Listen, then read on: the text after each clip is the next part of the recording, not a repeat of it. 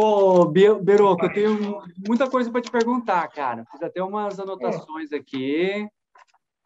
E... Tá preparado? Olha, cara, eu na verdade não sei o que você vai me perguntar. Até... Eu posso perguntar tanta coisa, porque eu te conheço, né, cara? Tipo... É, sim, espero que eu, que eu, que eu consiga Ó, responder. Né? Primeiramente, cara, eu gostaria de agradecer você por ter aceito a entrevista. Fazia tempo que eu queria, tipo, conversar com você, trocar umas ideias, tal. A gente conversou por mensagem outro dia, né, tal. Sim. Mas eu quero, tipo, assim, trocando, olhando no olho é diferente, né? Porque Sim, acho que faz, claro, claro. faz bastante tempo que a gente não se fala. É... Faz muitos anos, né? Isso, anos, anos, anos. Anos eu, eu vou falar, falar assim, mais de 10 anos. Mais, mais de 10, eu acho. Sim, eu acho que eu lembro a última vez que a gente se viu, que foi... A gente estava, acho que ali na frente da casa do Serginho, aí estava conversando eu, você, o James, agora eu não lembro quem mais estava, mas eu lembro que a gente tá... Pode ser, pode ser, eu acho que sim. Foi me, meio que quando a gente terminou o terceiro colegial, a gente se reuniu ali por um acaso, trocamos uma ideia e depois nunca mais nos falamos. Faz um tempo, cara. Puxa faz, faz muito tempo. Tipo, eu tive que pedir o histórico escolar e a gente se formou em 2005. Foi em 2005. Então isso aí deve ter ocorrido em 2006. Eu não sei se você estava para cá quando meu pai faleceu. Não sei se você hum, se lembra. Eu lembro que o seu pai faleceu, mas eu, eu, eu, eu vim para Irlanda em 2013. Quando foi que ele faleceu? Ele faleceu em, em 2005.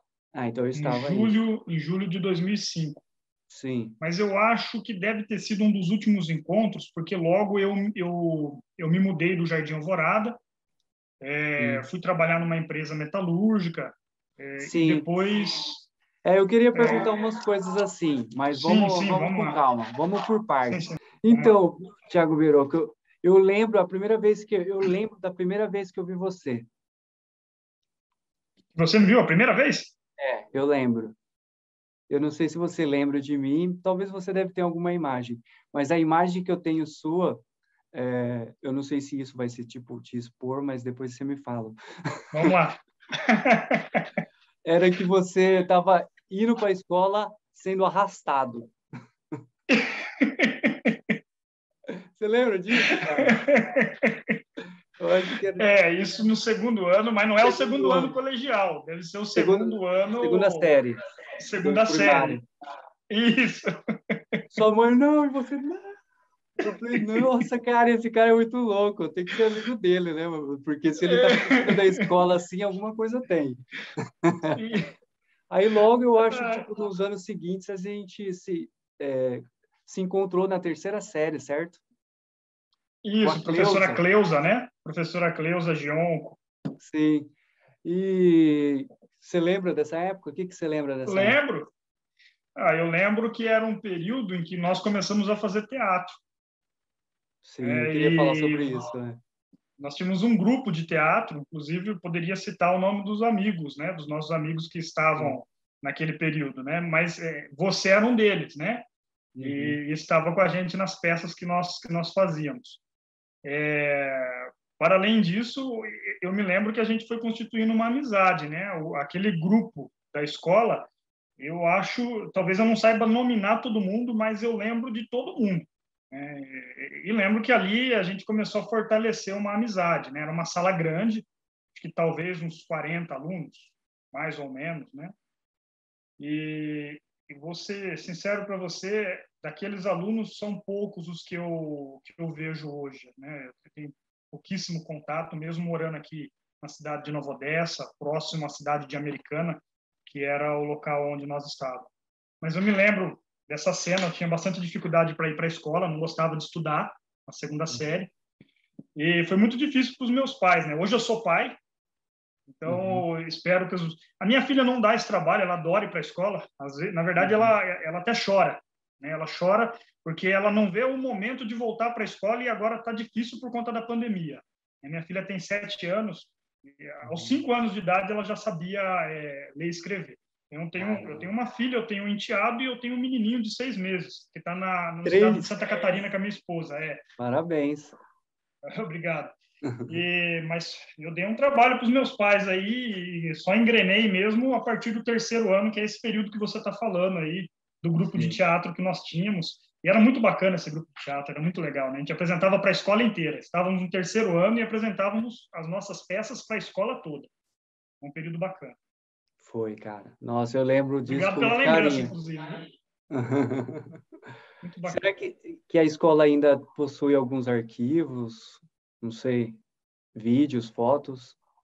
Eu acho que, que sim, acho que deve ter sim. Inclusive, há muitos anos, né, e digo novamente na mesma, na mesma esteira, né, talvez há uns 15 anos atrás, 15 ou 20 anos, eu me recordo de ter tido acesso a algumas fotos. Eu não me lembro se foi algum amigo que me deu, que me entregou, também não sei onde elas estão, devem estar guardadas, mas devia ser o, o pessoal falava negativo, né? Devia ser, o, não sei se é o negativo, devia ser alguma cópia de algo que tem lá na escola, né? A maestro Germano Benencassi no bairro Jardim Alvorada. Deve ter arquivo, registro disso sim. Legal, cara. Porque depois eu acho que eu vou atrás, que quem sabe dá para pôr aqui, aí dá para ilustrar melhor o, o vídeo. Eu acho que dê sim. Talvez eu possa dar uma força nesse sentido. Eu dou um pulo lá na escola, sim. falo da nossa conversa e vejo se a gente consegue. Sim, seria legal, mas é, se não der, sem problemas também.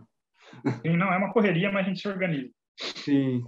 E, o, o Beroco, é, eu não falei ainda, mas é, você poderia se apresentar? Tipo, já está meio que no meio da conversa, mas fala aí quem você é, qual que é o seu nome, sua idade, de onde você veio. Qual é que é a sua? Meu nome é Tiago Beroco, né?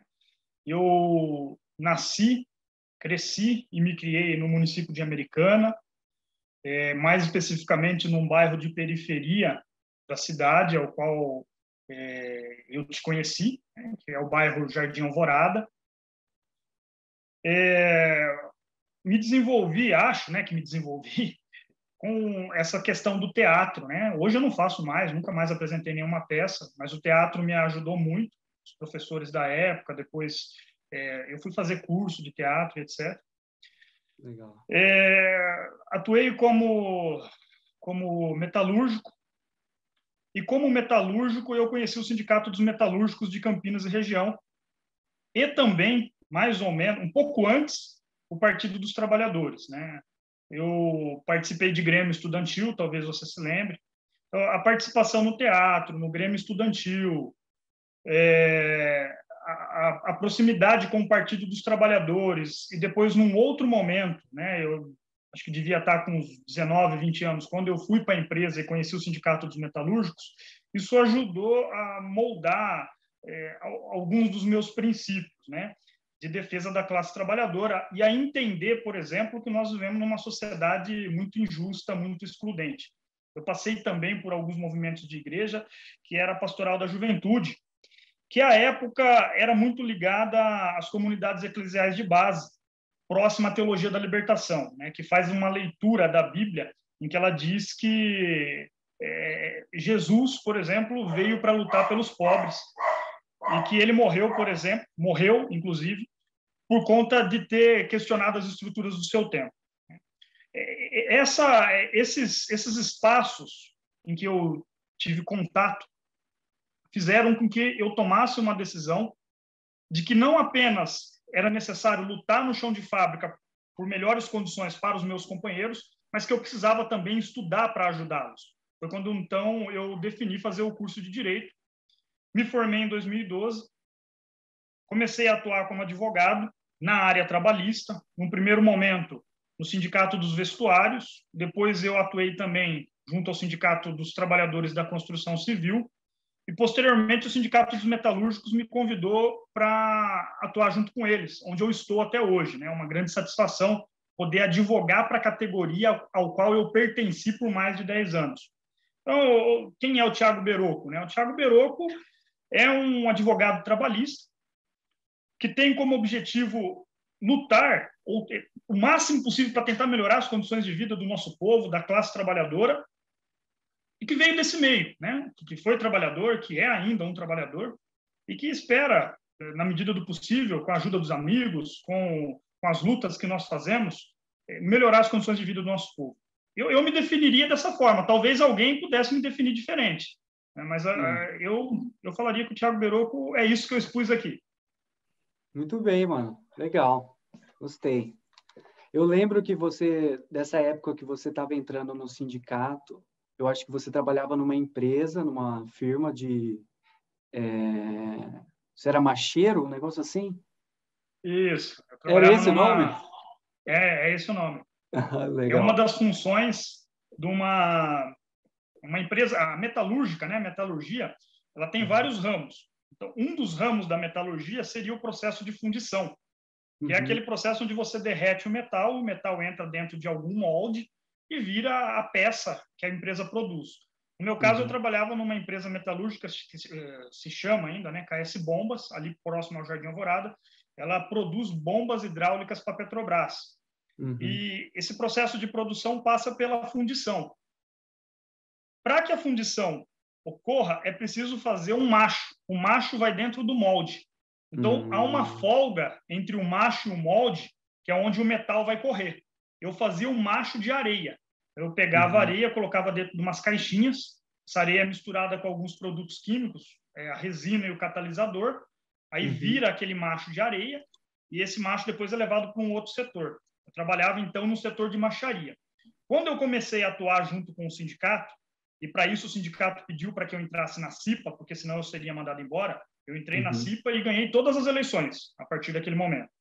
É, comecei também a lutar, comecei a lutar é, por melhores condições de trabalho, porque o ambiente de uma fundição é muito hostil.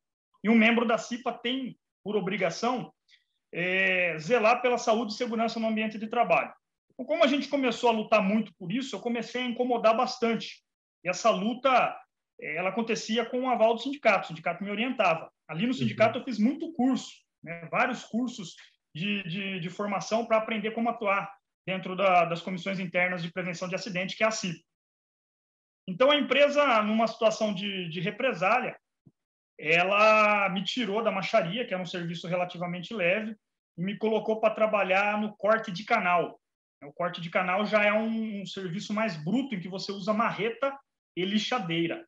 É um serviço pesado, imagine, né? Uma marreta de quase 20 quilos para um menino que não tinha nem 20 anos de idade. Né? E um equipamento que nós chamamos de lixadeira, um equipamento grande, assim, com um disco, né? Um serviço extremamente perigoso. Então, nós conseguimos driblar aquilo ali, depois eu passei para o setor de jateamento de peças. E ali fui, fui, fui até eu me formar e acabei saindo da empresa.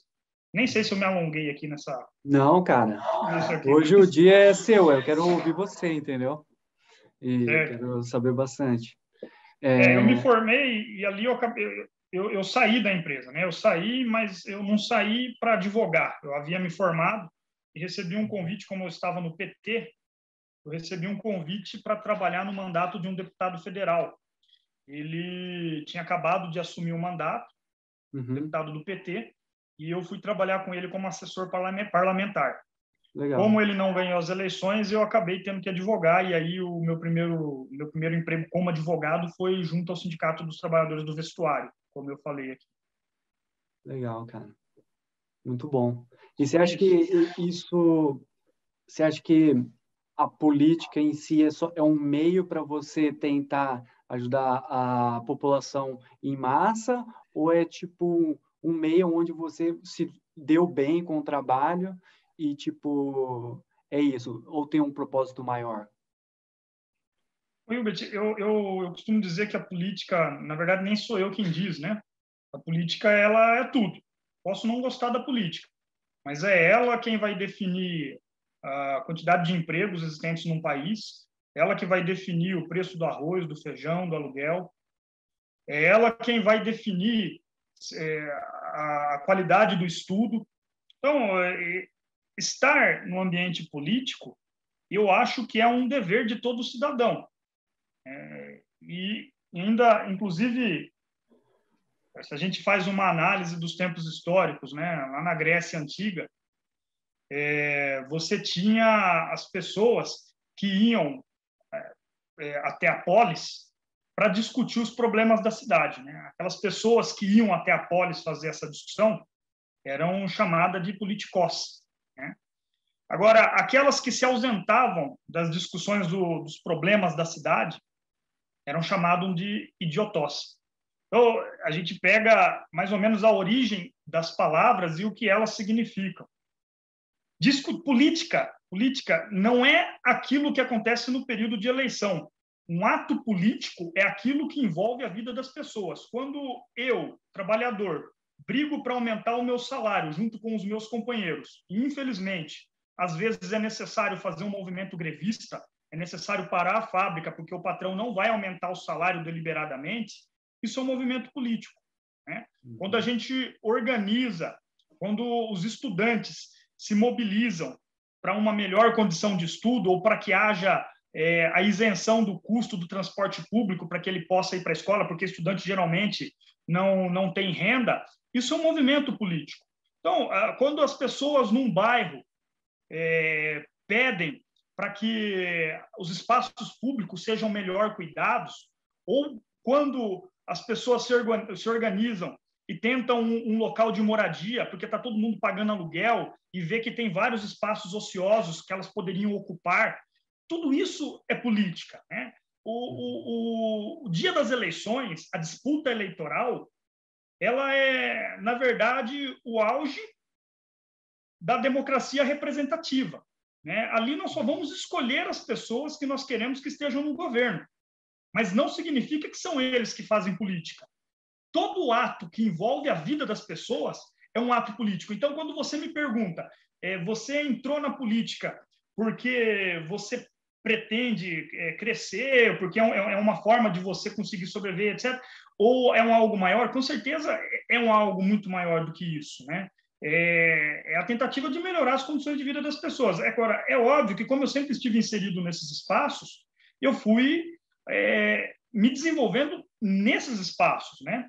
Então, é, é, é por óbvio que eu trabalhe é, nos sindicatos, que, que é, é, é, o local por excelência né? uhum. de defesa da classe trabalhadora. Então, eu, eu, acho que é mais ou menos isso. Eu não sei se eu soube responder a pergunta, mas eu acho que a política ela é, ela é extremamente importante. Goste eu ou não, né? goste eu ou não.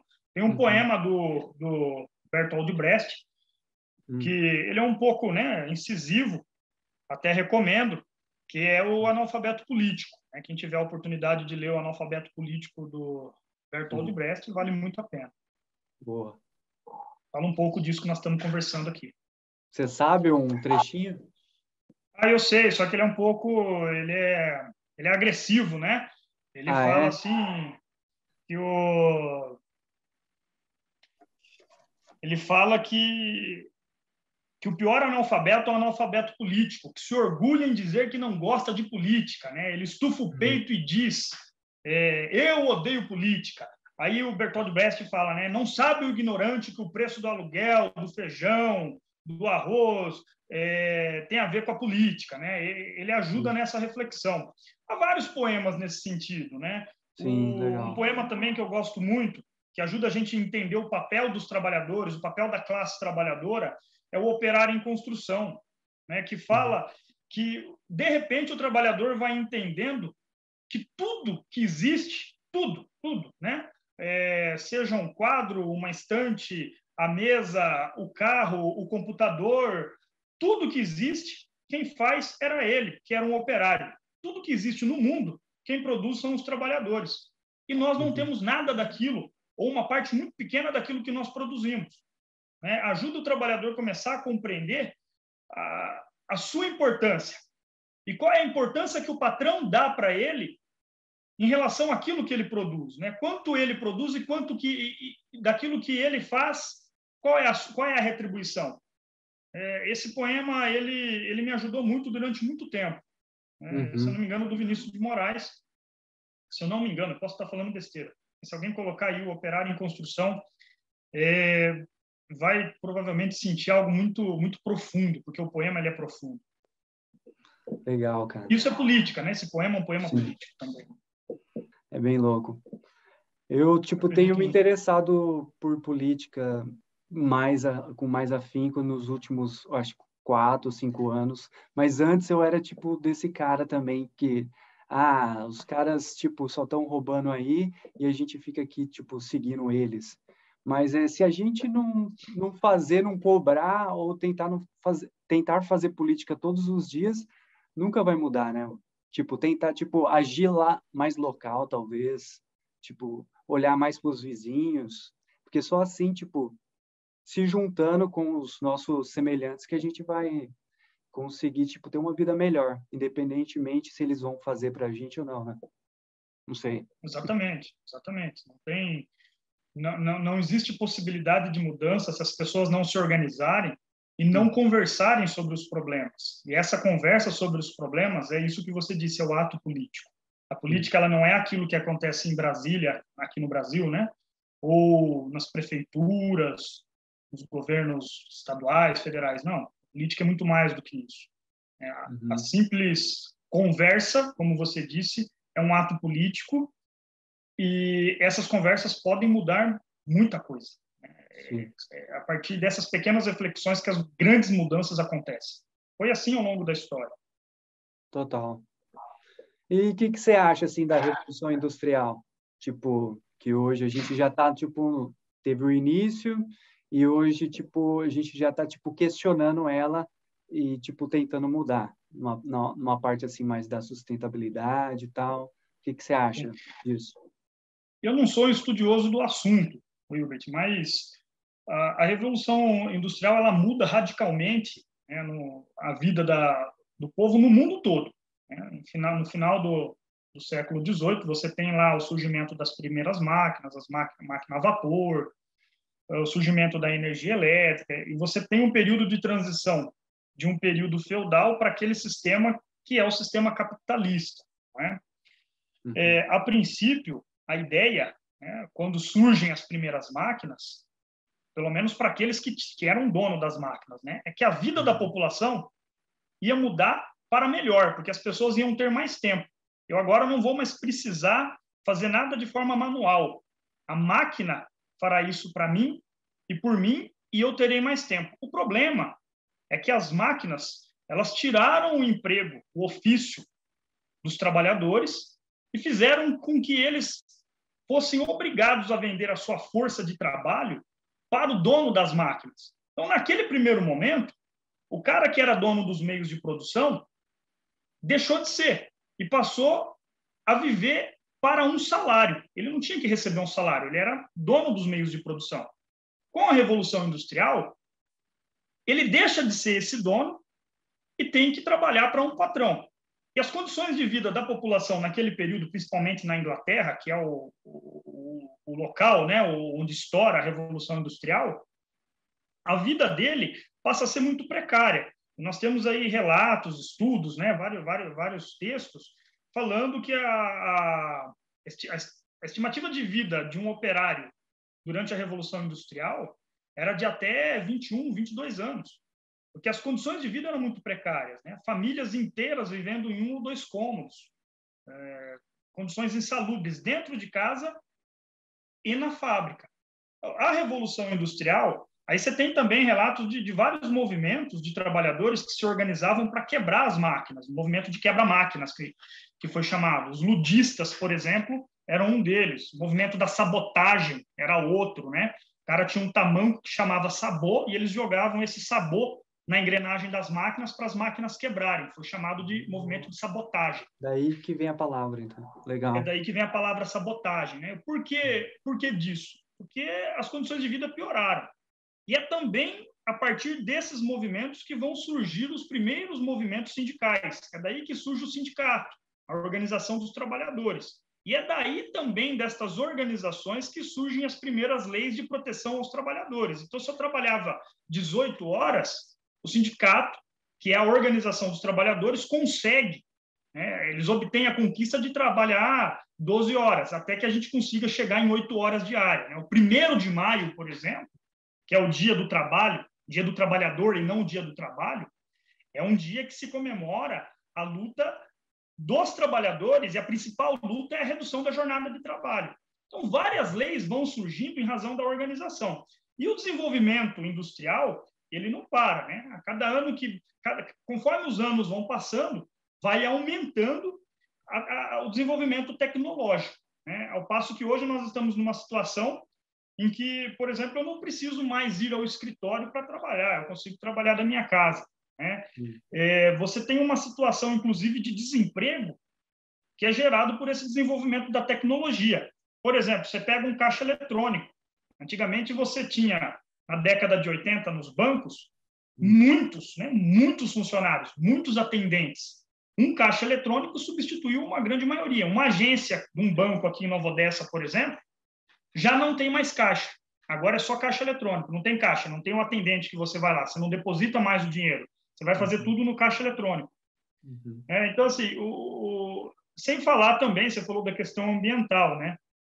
Que esse desenvolvimento desenfreado do sistema capitalista, que é um sistema de acumulação e não de divisão de riquezas, né? um sistema predatório em que não há preocupação com o bem-estar das pessoas, não há preocupação com o meio ambiente, não há preocupação com a vida em geral, ele vai exaurir a vida na Terra. É, pode ser que um dia a gente chegue num momento em que não hajam mais recursos. Né? Então, nós já temos um desemprego desenfreado, porque o desenvolvimento das tecnologias propiciam isso, e nós uhum. temos também hoje uma situação de vida no planeta que corre um grande perigo. Eu, eu acredito que é, os donos do capital, né, aqueles que detêm um grande poder, precisam repensar. Agora, a história já provou também que eles, por si só, não vão repensar sozinhos. Então, é necessário uma pressão da nossa parte, né? uma pressão por parte dos trabalhadores e uma pressão por parte da sociedade. Bom, mais uma vez é isso. Como eu disse, eu não sou estudioso do tema, né, dessa questão da revolução industrial, etc. Mas é uma Sim, visão mas... singela aí que eu tenho sobre o assunto. Sim, deu uma boa resumida. Legal, mano. É, eu queria falar algumas, algumas coisas sobre educação, que eu venho estudando algumas coisas sobre. Eu não sei se você já ouviu falar sobre permacultura. Desculpa, como? Permacultura. Não, não ouvi. A primeira vez que eu estou ouvindo é agora. Tudo bem. É, sobre permacultura é como se fosse uma filosofia que eles é um sistema holístico onde eles ensinam de uma forma uma forma que você possa viver de uma forma sustentável e que tipo um complementa o outro em, na, em todas as áreas.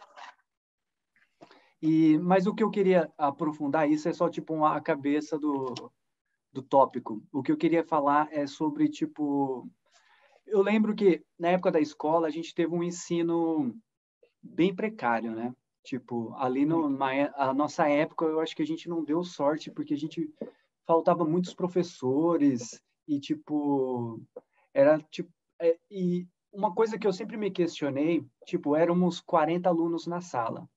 Cada aluno é, já é provado isso, cada aluno aprende de uma forma e que tipo a, o método que era usado com a gente era tipo os métodos militares, né? Que tipo desde a época do que os militares estavam no comando, eles só mantiveram o mesmo sistema.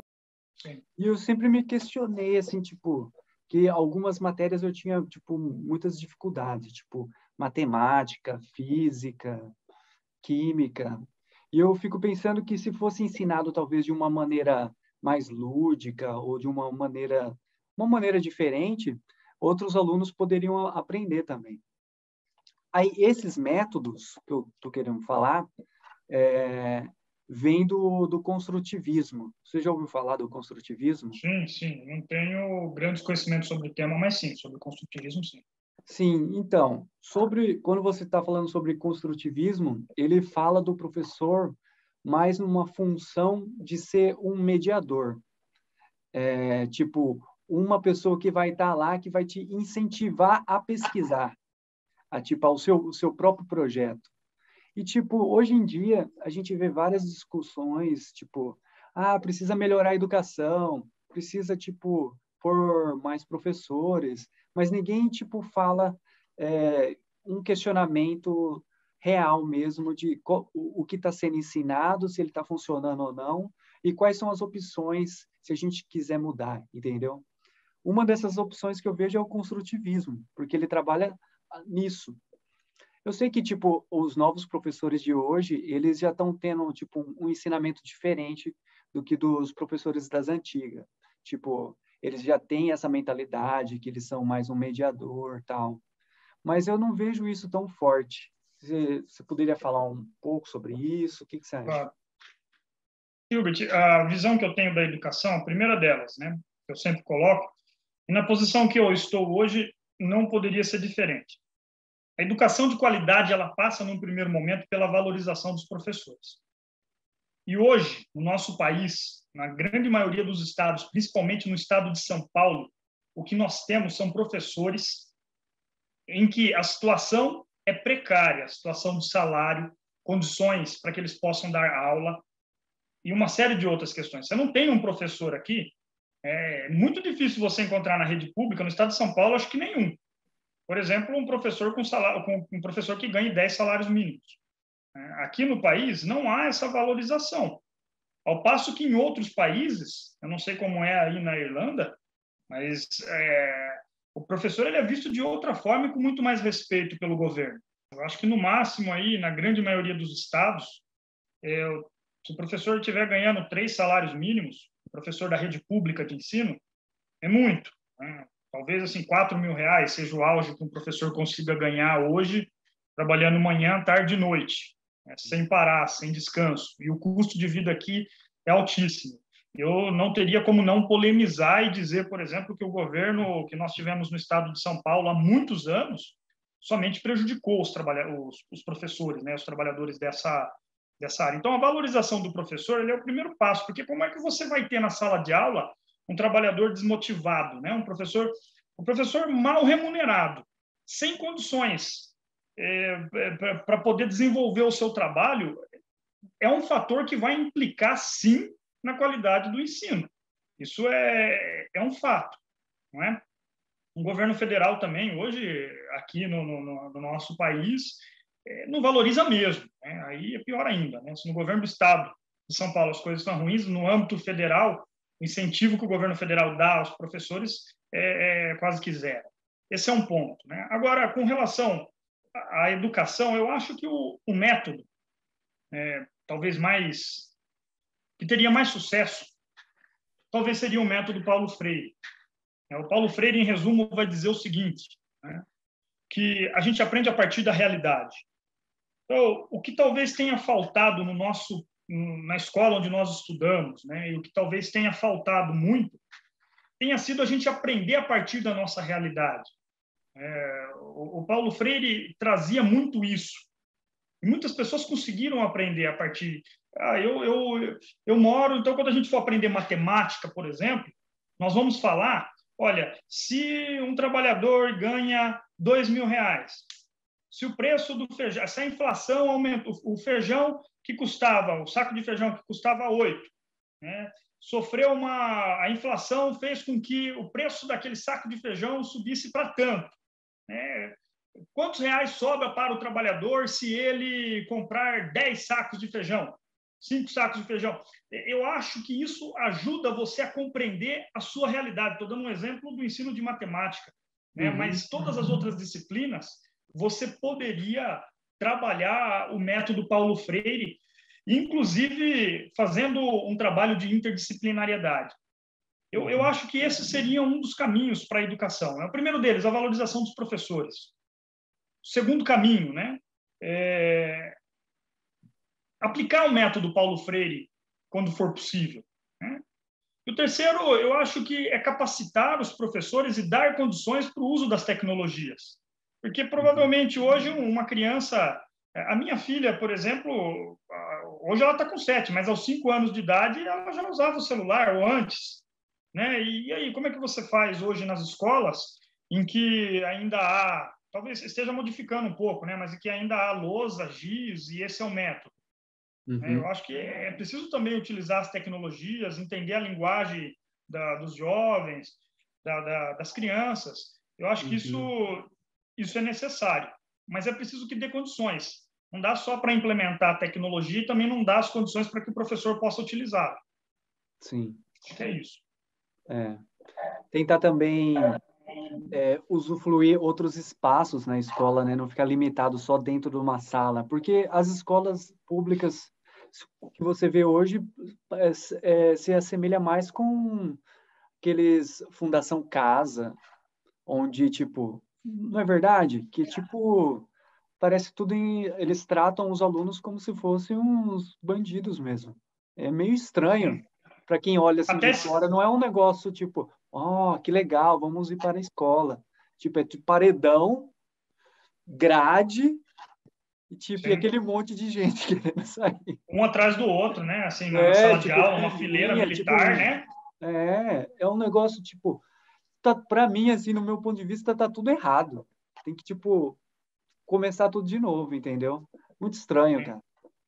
Eu fiz uma, uma pós-graduação no Mackenzie em Direito e Processo do Trabalho, só para ilustrar, né? Vamos falar assim, ah, mas é, nas, nas escolas da elite é assim que funciona. Não, não é. Eu tive a oportunidade de frequentar o Mackenzie, o Mackenzie é, é, não é um, uma faculdade para quem tem poder um baixo poder aquisitivo. Né? Eu consegui uma bolsa, consegui estudar ali, etc. Mas é, nós não sentávamos um atrás do outro, né? sentávamos todos do lado, fazia um semicírculo. Um semicírculo. Então, assim, é, então, apenas para ilustrar um pouco como é que se dá o ensino, inclusive nas escolas de alto padrão. Esse conceito de um atrás do outro, o professor fala e a gente só recebe aquela informação, hum. é, acredito que já esteja ultrapassado, né? Esse método Sim. precisa ser precisa ser revisto. É, e uma, uma outra coisa que eu também questiono assim, eu não entendo o porquê isso não aconteceu. Talvez vamos fazer um questionamento do governo do PT. Por que que eu entendo que o PT ele focou em ajudar as pessoas que queriam se formar, com FIES, tal, entre outros programas. Mas eu não entendo, já que o PT estava tipo ganhando as eleições, por que que não teve um projeto de investimento da mesma forma que eles investem em, em faculdades públicas federais, não tivesse esse mesmo essa, essa mesma forma de ensinar na, nos ensinos é, primários e ensino médio porque parece que deixa o, os, os, que eu acredito que seriam os principais, né? Porque a pessoa não precisa não necessariamente se formar no ensino superior. Ela pode fazer qualquer outra coisa, sendo que ela já tem uma base de uma educação boa, não é não? Tipo, Sim. eu não entendo que tipo ninguém nunca questionou. Não, pessoas questionam isso, mas não foi feito, né? O que, que você acha disso, mano? É, a questão da educação, o Hilbert, ela está muito hoje básico. nas mãos, é, ela está muito nas mãos dos municípios e dos governos estaduais. Então, por hum. mais que o governo federal é, delimite as regras, por exemplo, do Fundeb, né, que é o fundo lá que, que, que você manda recurso para as escolas. Quem vai administrar isso no âmbito das escolas estaduais é o governo, são os governos estaduais. O governo de São Paulo, o governo do estado de São Paulo, por exemplo, foi muito mal administrado. Né? Uhum. Você, não, você não usa esses recursos para valorização do professor, como eu disse. Uhum. E também no âmbito municipal, porque as escolas primárias, se eu não me engano, do, do, do berçário a, até o, acho que o quinto ano, é responsabilidade dos municípios. Então, por mais uhum. que você tenha o, um governo do PT né, à frente, o governo federal seja do PT, nos estados e municípios, a hum. realidade pode ser diferente. Então, tem a ver também com as administrações. Então, essa Sim. seria a crítica que eu faço. É, agora, hum. quando você fala de universidade, principalmente as universidades federais, né, é inegável que o Partido dos Trabalhadores fez muito mais do que qualquer outro governo. Você pega, por exemplo, quantas universidades foram construídas no período de Fernando Henrique Cardoso? Sim. Não foram 10. Não foi. Com absoluta certeza. Eu acho que eu estou falando número exorbitante aqui. Ao passo que no governo Lula, um operário metalúrgico, né, o pessoal gosta de falar que o Lula é analfabeto, foi o, o cara que mais criou universidade nesse país. A quantidade uhum. de mestres, doutores, as possibilidades que nós tivemos das pessoas irem para a universidade é, cresceu de forma assim espantosa. Ao passo que você viu o filho da empregada doméstica se tornar médico, advogado, engenheiro. E não necessariamente, como você disse, que uma pessoa tenha que passar por um curso universitário. Né? Uhum. Eu não preciso. Né? Se eu não quiser, eu não tenho que fazer não isso. Não é uma necessidade. Eu... Né? Não, mas, infelizmente, o que nós vemos hoje na nossa sociedade é que as pessoas que passam a ter um padrão de vida um pouco melhor são uhum. aquelas que passam por um, por, por um curso universitário. Não todos, né? Nós temos muitos mestres e doutores que hoje estão desempregados. Uhum. Mas, é, na maioria das vezes, as pessoas que têm um, um, padrão de vida um pouco melhor são as que conseguiram investir nos seus estudos.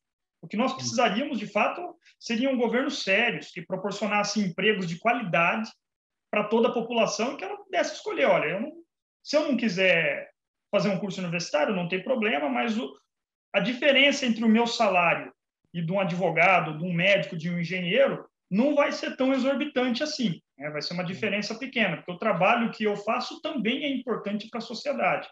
Sim. Aí também passa, por exemplo, pela luta dos trabalhadores. Né? Os trabalhadores têm que fazer uma luta séria e muitas das vezes necessidade de greve, enfrentamento, para melhorar a qualidade dos seus salários. Isso é, a gente volta naquela questão da importância da, da organização dos trabalhadores, e isso também é política. Né? Uhum. voltando na, na, na, questão da educação, por que, que o PT não fez com que nós tivéssemos um, uma qualidade de ensino é... Ou me melhor, uma pergunta melhor. Talvez, ó, deixa eu tentar refazer a pergunta. Como então, se você, se nós dois reconhecemos que há um problema no, no ensino fundamental e no ensino primário, há um problema, né? Muito fraco, salário baixo. Como então fazer que você falou quem toma conta é os governadores ou os municípios? Como fazer que esses municípios e esses governos é, criam projetos tipo de, de melhorias para, para, para as escolas, entendeu? Que mudem a escola. Como fazer? Igual você Eleger foi candidato bom... a prefeito, né? Qual que era a sua... Sim. Você tinha uma proposta ou era tipo... Tínhamos, tínhamos uma plataforma. Bom, mas respondendo a sua pergunta de forma bem objetiva, como fazer? Escolhendo bons governos. Né? Escolhendo governos que tenham propostas para resolver o problema da educação. O governo federal quando era comandado pelo PT, resolveu o problema da educação, ao passo que nós tivemos oportunidade para as pessoas ingressarem numa universidade. Para melhorar de fato a educação, é, seja ela do ensino básico, ensino médio, eu acho que seria necessário elegermos bons governantes nos estados e nos municípios. Nós tínhamos aqui no município de Nova Odessa, quando eu fui eleito, uma plataforma. É, quando a gente falava em educação, nós falávamos, por exemplo, em fazer com que a maioria das escolas fosse de ensino integral e que as escolas fossem equipadas. Então, nós teríamos ali tudo que existe, por exemplo, ou pelo menos tentaríamos fazer isso, tudo que existe, por exemplo, numa escola particular. Que hoje, infelizmente, escolas particulares têm uma qualidade de ensino um pouco melhor do que a do, do ensino público. Uhum. E há condições para fazer isso porque há recursos, recursos do Fundeb. É uma questão de uhum. prioridade dos governos, né? onde é que o governo vai, vai investir.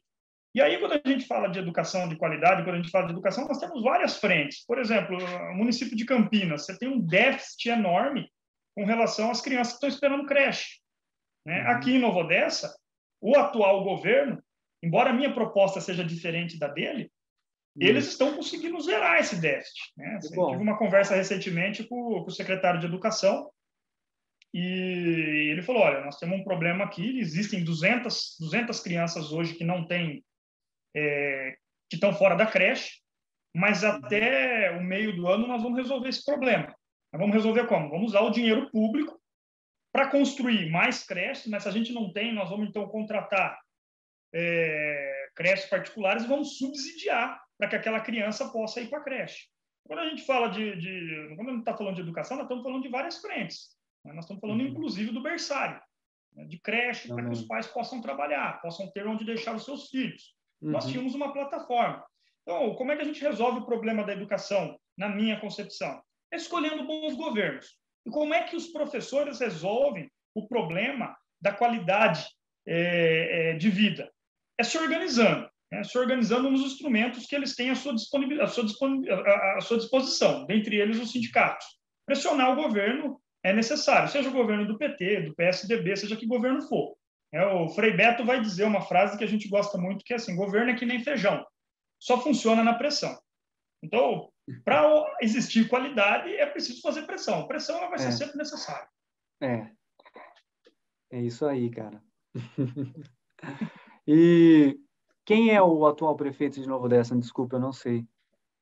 Ele, eu vou falar o apelido, né? Que ele é conhecido aqui como Leitinho. Ah, Leitinho. ah já ouvi falar. Já ouvi falar. Isso. Leitinho foi vereador, né? Ele tem um. Ele é relacionado a alguma coisa com animais, ele é. Isso, ele é veterinário, médico ah, veterinário, sim. e ele tem uma atuação forte em defesa dos animais, né? Legal. É, e era um crítico do governo anterior. Quando ele era vereador, ele era um crítico, né? Hum. E aí, a atuação parlamentar dele de vários anos deu a ele o prestígio que ele precisava para ser eleito. Acho que há algum, algumas, alguns erros que precisam ser corrigidos nesse governo, Sim. Mas também não acho que é o pior governo, né? Eu acho ah, que, que bom. há passos importantes. Inclusive essa, essa questão, por exemplo, da educação da creche, é. aqui no município. O problema é que a questão da educação hoje, de vários outros é, é, temas, é um pouco também a questão da pandemia, né? Então estava uhum. para voltar tudo, agora com esse surto de, de, de, Covid novamente, com a questão da Ômicron, não dá para saber se volta, se não volta. Então tem todos esses, problemas. E como que está a pandemia aí na região? está forte, alarmante. Né? Os casos é, de pessoas contaminadas crescendo novamente. Hoje, por exemplo, é, um colega acabou de dizer aqui no grupo que nós temos, o grupo dos advogados, que acabou sendo contaminado. Sim. Assim, nós conhecemos várias pessoas. Né? E eu, particularmente, com muita tristeza, conheço muitas pessoas que vieram a falecer em razão da Covid. Alguns até que negavam, por exemplo, a importância da vacina. Sim. Nós estamos numa situação alarmante, um momento crítico da nossa sociedade, do mundo, né? É, é. Vai ser preciso repensar. Sim. Vamos ver como que vai ser daqui uns 20 anos, como que a gente vai enxergar toda essa situação que a gente está vivendo.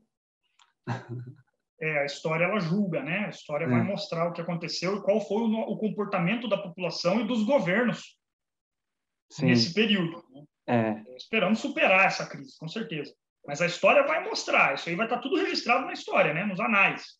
Sim. Livros de história vão dizer qual foi o comportamento desse daquele governo diante de uma crise sanitária. Sim. Tem mais alguma coisa, Biro, que você queria falar?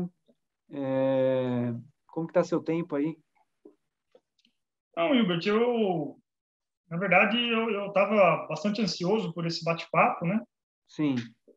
E muito contente por poder falar com você, falar um pouco das minhas experiências, né? Legal. Na verdade, é, o meu dia a dia, se eu fosse falar alguma coisa, eu falasse, ah, o que mais você quer falar, né? Se eu falasse uhum. do nosso dia a dia, é um dia a dia de defesa dos trabalhadores, né? Eu, eu advogo, como eu já disse no início, para um sindicato. Então, constantemente nós estamos aqui defendendo trabalhadores que foram demitidos, não receberam suas verbas decisórias, né? Trabalhadores um que só eu dei um Google no seu nome para me dar uma stalkeada em você. Eu falei, deixa eu ver o que, que o Beroco está fazendo, né? Antes de chegar lá. Aí, eu vi que tem vários casos que você já trabalhou, né? Mais de 600, é isso?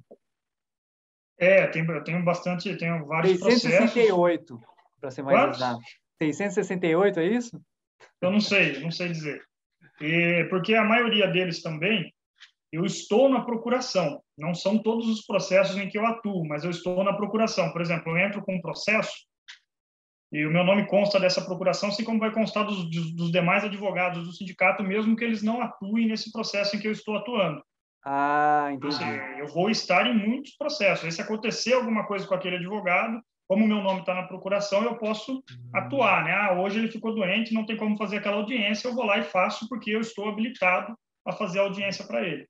Já atuei em vários processos, não sei dizer exatamente a quantidade é, de, quantos, de quantos, mas Sim. o nosso dia a dia é esse, é um dia a dia de tentar reparar as injustiças que foram feitas com os trabalhadores, né? O trabalhador sai aí lesionado da empresa, né? Trabalha 20 anos dentro de uma empresa e sai com um problema de coluna, sai com uma epicondilite, né? Um problema no cotovelo, síndrome do túnel do carpo, no, no, no punho, né? Se ele faz muitos movimentos repetitivos hum. e etc. E aí, então, ele entra com uma ação, ele nos procura para entrar com uma ação para procurar ser reparado por aquela doença que ele adquiriu no ambiente de trabalho. E estou dizendo isso porque, a partir do ano de 2017, com a reforma trabalhista, os trabalhadores passaram a ter muita dificuldade. Né? Alguns hum. trabalhadores que ingressaram com ação para tentar é, ter reparado aquela situação danosa, acabaram uhum. perdendo o processo e, em razão de perderem o processo, foram condenados a pagar, por exemplo, custas, honorários de perito e honorários de advogado da empresa algo que nunca tinha acontecido na história do país, né? na história uhum. do direito do trabalho. Era algo assim impensável. A reforma trabalhista trouxe esses complicadores. É, nós tínhamos, nós, os, os, metalúrgicos têm uma convenção. Convenção seria um acordo, né? E a convenção é como se fosse lei, lei entre as partes. Existe uma cláusula na nossa convenção que garante estabilidade até a aposentadoria para o trabalhador lesionado. Um trabalhador sofreu um acidente e não pode mais fazer a função que ele fazia essa, essa cláusula garante para ele uma estabilidade até a aposentadoria. Até ele aposentar, a empresa não vai poder mandar ele embora. Certo. Acontece que a reforma trabalhista e até mesmo o Supremo Tribunal Federal antes acabou com o princípio que nós chamávamos de princípio da ultratividade das normas. Significa dizer o seguinte: se o patrão não quiser assinar o acordo, não quiser assinar a convenção coletiva, vai sempre valer a última convenção assinada. Ele não quis assinar essa, não importa, se nós temos uma convenção assinada lá no ano de 2005, aquela convenção está valendo. Então, essa cláusula está em vigor. A reforma trabalhista acabou com isso. É, o STF acabou com isso.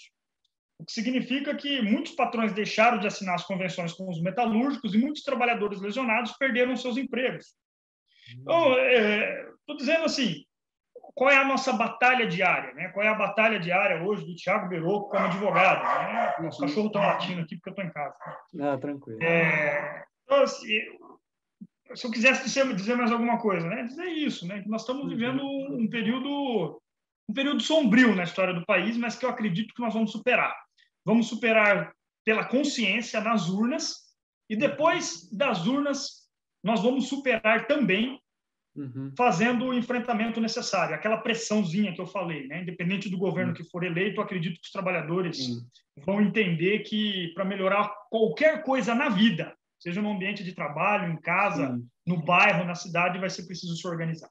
É. é outro dia eu estava pensando é, que tipo a gente não sei, meu ponto de vista, a gente tem que parar de olhar para pessoas, para políticos e começar a olhar para os projetos deles. Isso. Qual é o melhor projeto, né? O que mais tipo me atrai? O que mais vai ajudar eu e minha comunidade, entendeu? E tipo, a gente ainda está muito preso à figura, né, mano?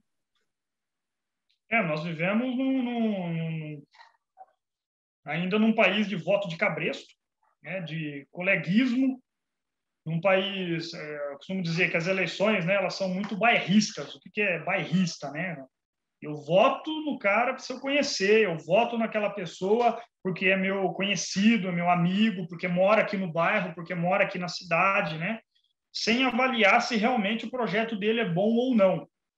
É, vou votar, inclusive, esse é o tal do voto de cabresto, né? Que é o pior deles. Vou votar porque o cara conseguiu fazer com que a minha filha que estava doente passasse na frente lá na fila do hospital.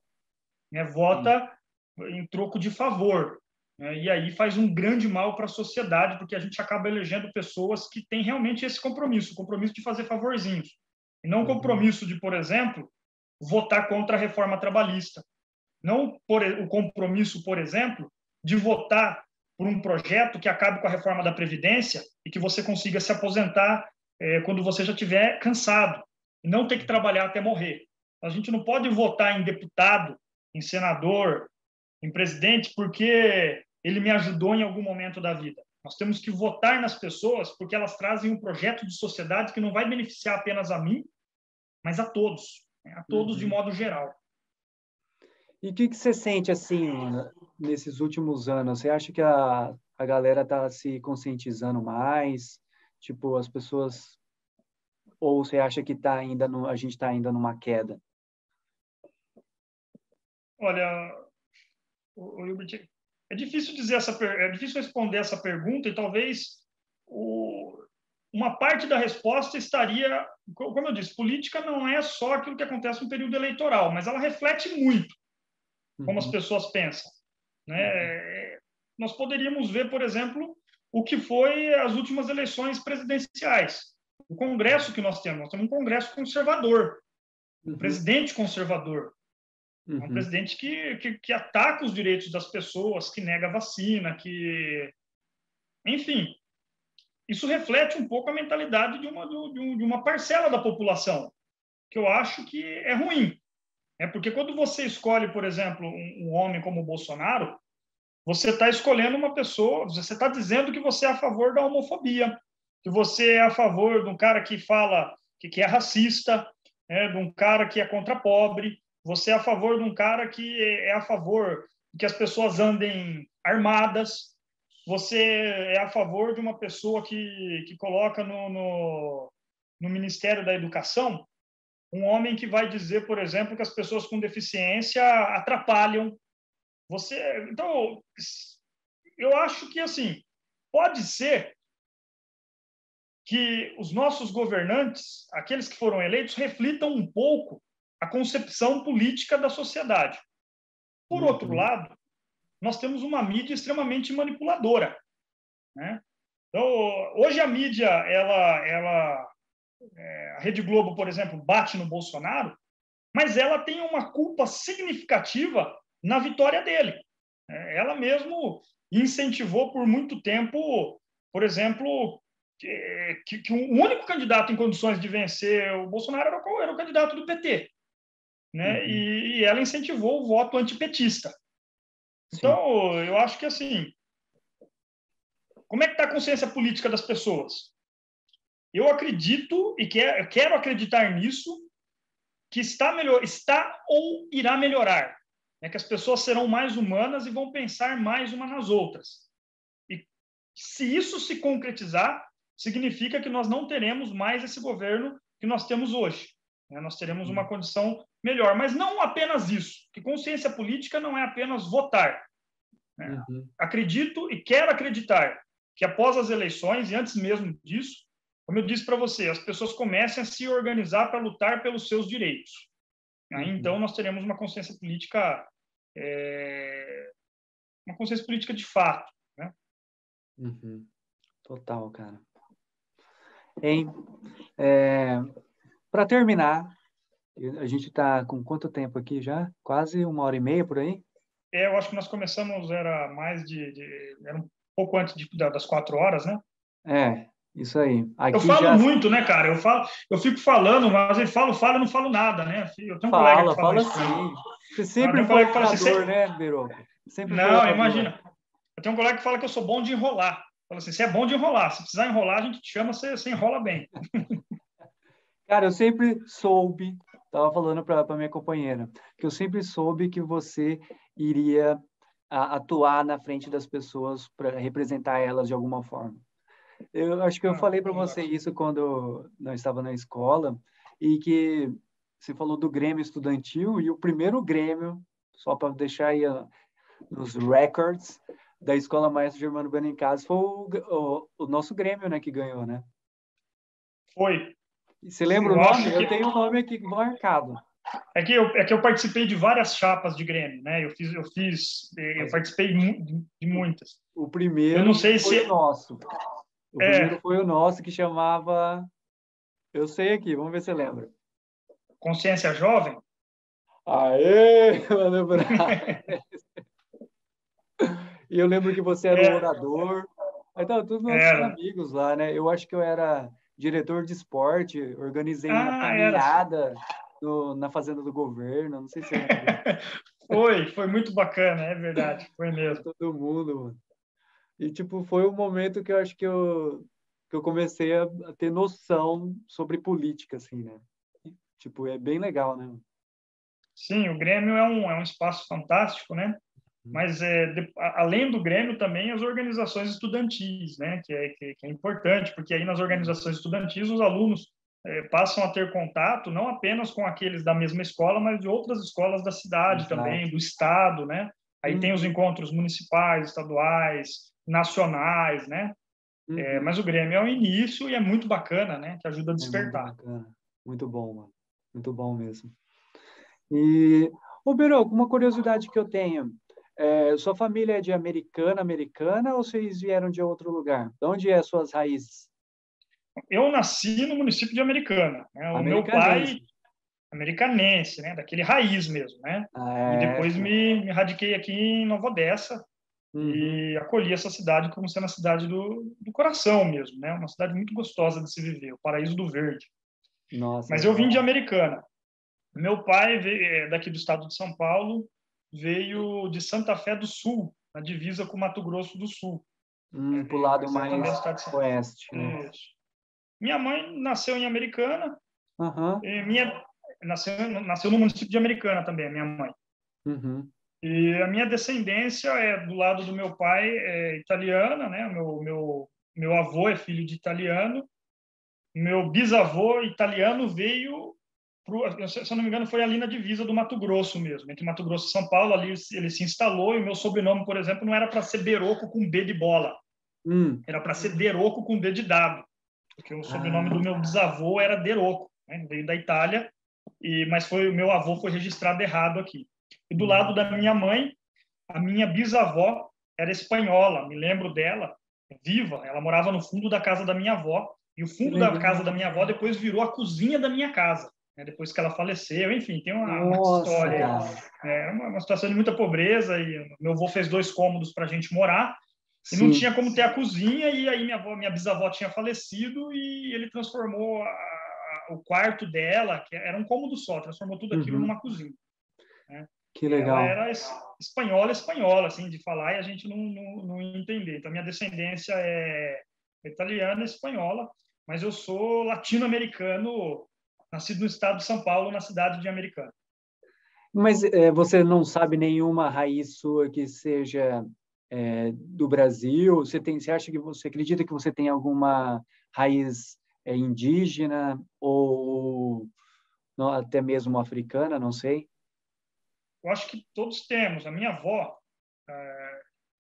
porque na verdade assim, né? São são dois avós de cada lado, são quatro, né? sim, né? Então eu sim. falei do meu avô, eu Você falei dos dois avós, né? Do, do, meu avô, o avô, o pai do meu pai e o pai da minha mãe. Sim. É que senão é muita coisa para falar, mas é, o, o, pai da minha avó paterna é hum. de Portugal. Certo.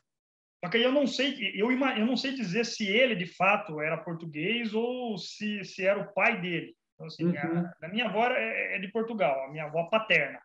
Sim. E a minha, a mãe da minha avó materna é uma história um pouco confusa. Diz que a minha bisavó materna, ela foi criada por índios. Então, é, bugres, né? Então, uhum. a minha uhum. tem essa raiz, sim, né? É, uma parte. Raiz. É, mas é, aí existem histórias que elas vão se perdendo, né? Se a gente não sai para fazer a, a, busca, a pesquisa, ela se perde mesmo. Sim. Principalmente dessas situações cuja exploração é maior, né? Sim. É, a história dos indígenas, dos negros, elas vão, elas vão se perdendo e é um erro. É um erro da minha parte não, não, não buscar compreender um pouco melhor isso também. Sim. É uma boa forma é tipo começar a fazer árvore genealógica, né? Tipo, aí você vai montando, vai buscando nos cartórios, tal. Eu comecei a fazer Sim. a minha. Começou? É. E aí, foi parar na onde? Então, Chegou de uma, um lado eu, eu consegui encontrar meus, bisa, meus bisavós, não, é, bisavós, e do outro até o tataravó. Puxa! É, só que até, só são... até aí, e são todos lá da Bahia. Todos da Bahia? todos da Bahia. Poxa, que bacana, que bacana. Né? Aí eu, eu, queria ir mais a fundo, né? Mas não, não conseguia, né? Não tinha informações. Aí eu fui, o ano passado, eu fui para aí para o Brasil, e aí eu fui para Bahia visitar meus avós, lá da onde meus pais vieram. Aí eu comecei a conversar com várias pessoas, eu encontrei tio-avô de 91 anos, Nossa. um outro de 99 anos, todos lúcidos, assim, falando tudo. Aí eles me passaram informações da mãe deles que eu não tinha. Aí eu estou anotando tudo, entendeu? Bem interessante. Nossa, que, que bacana. Eu, eu deveria voltar. começar a iniciar esse projeto aí. É muito e importante, né? As nossas raízes. Que eu fiz foi, não sei se você já ouviu falar daquele teste de do DNA que ele busca os, suas raízes tipo de 400 anos atrás, assim? Não, nunca ouvi falar. Então, tem um aqui que chama My Heritage, que é o nome do site e tal. Aí eu fiz ele e eu consegui buscar da onde são realmente minhas raízes. E, tipo, eu tenho porcentagem indígena, outra do norte da África e outra da, da Europa também, ali do norte de Portugal e Espanha. Aí, Entendi. E aí tem as porcentagens pelo certinho assim, é bem misturado, cara. Você faz um exame de sangue e sai no DNA, é isso? Não, pela saliva. Eu fiz. Pela saliva. é, eu comprei o negócio, eles mandam na minha casa tipo um cotonete, aí eu passo tudo certinho dentro da mucosa assim, fecho e mando de volta. Aí depois de uns três, três semanas assim, é, eu entro no, no site, aí tem, vai ter um tipo um profile lá com todos os meus dados e aí mostra tudo, da onde vem minha descendência, tudo. Eu, eu consegui achar até 1.600 que veio Nossa. Portugal e Espanha mesmo. Que é onde foi gente colonizado, né? Tipo, veio tipo os portugueses aí possivelmente esses portugueses se relacionaram com os, os as, os africanos que estavam no Brasil e os indígenas e virou toda essa mistura aí. Sim. É bem Muito legal, cara. Muito legal. É, é bom porque a gente vai conhecendo a nossa história, né? Sim. Vai é... se entendendo também, né? Talvez alguns comportamentos tal. Sim. Eu acredito é. nisso. Wilbert, queria te agradecer viu, imensamente aí pelo papo e dizer que, na verdade, mais do que uma conversa aqui, eu matei a saudade. Ah, que legal, cara. O Leonardo Boff fala que a gente precisa mudar para continuar sendo o mesmo. Né? É, uhum.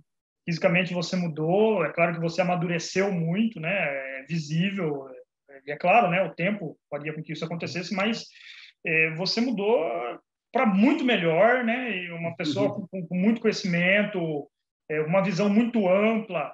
Eu, eu, fiquei muito feliz em saber uhum. dessa tua condição hoje, de um olhar crítico, de estar tá bem, né? De estar tá bem. E estar bem é isso, né? É, uhum. É, é, é, ter essa visão crítica, é se relacionar bem com as pessoas, com o mundo, né? E Sim, é isso. Eu, eu, fiquei extremamente feliz. Extremamente ah. Acho que nós havíamos conversado só por, por, por mensagem, né? Voz, sim, sim. assim, mas não, não assim. Quero que é se houver né? Sim, se existir a possibilidade, a oportunidade, passando essa pandemia, quem sabe um dia eu possa te visitar aí na Irlanda. Bom, será muito bem-vindo, mano. Vou te mostrar todos os picos aqui, é bem bonito aqui. É igual não vou dessa aí, é tudo verde. Ah, então, beleza, vou estar em casa. Ai, que legal, cara. Ó, muito obrigado de novo. Eu também estou extremamente feliz de ter falado com você. Eu sempre penso, tipo, em você, assim, pô, o Beroco era um cara da hora, assim, tipo, que eu admiro por, ah, pela sua por você tomar a frente e fazer as coisas, entendeu? Não ficar, tipo, esperando tal. E isso é muito importante. Porque às vezes a gente acomoda, né, cara? Tipo, às vezes é tão dura Sim. que às vezes a gente ainda vai ter que ficar cobrando. É foda. E você, tipo, tem isso, né? Mano? Isso é bem legal.